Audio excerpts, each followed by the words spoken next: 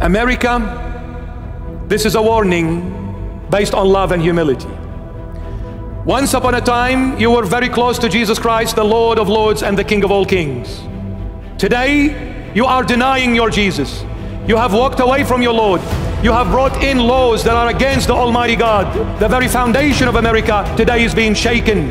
You have denied Jesus. That's why you are in turmoil. That's why you are living in darkness and in total blindness. The moment you took the Holy Bible out of schools, the moment you introduced laws that are offensive to your Jesus Christ, rest assured the wrath of God will come upon you and no one will save you.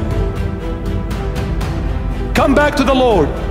Otherwise, there will be another empire that is a dragon will come up and will devour you and the entire globe. Repent, America, before it's too late. Come back to your Lord and to our Lord and to the Lord of all, Jesus Christ of Nazareth. Come back.